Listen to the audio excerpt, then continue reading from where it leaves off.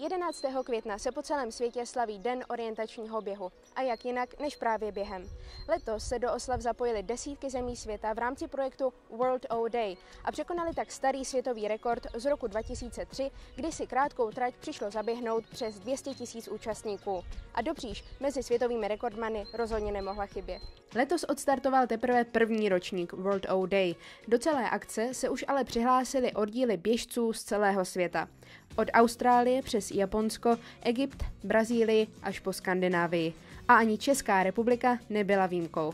Stejně tak jako Dobříž. Ta se dokonce projektu zúčastnila jako jediné město ze středočeského kraje. Cílem projektu World O Day bylo představit orientační běh široké veřejnosti prostřednictvím sportovních soutěží. Organizace Dobřížského World O Day se ujal místní oddíl sportů v přírodě OK Dobříž, který pro všechny běžecké načence připravil jednoduchou a zábavnou trať ve školním areálu.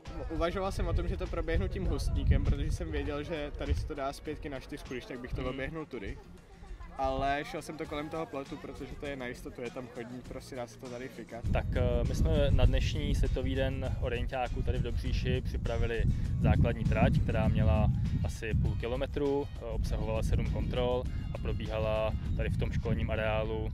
Účelem nebo cílem bylo eh, najít ty kontroly ve správném pořadí a projít nebo proběhnout trať od startu do cíle. A i my jsme s kamerou do bludiště vyrazili. Náš výkon se ale mezi ty nejúspěšnější nezařadil.